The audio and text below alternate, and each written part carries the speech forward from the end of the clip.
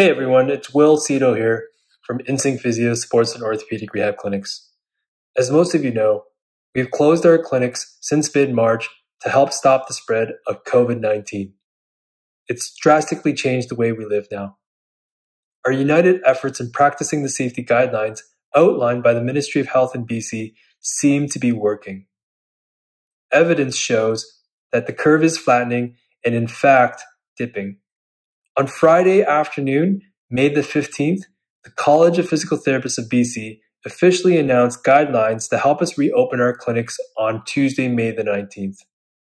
We are looking forward to being able to help you, our patients, in the clinics again.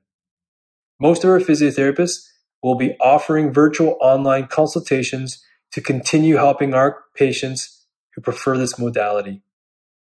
As we navigate this new landscape, we will have clinic guidelines and cleaning protocols in place to keep our community safe.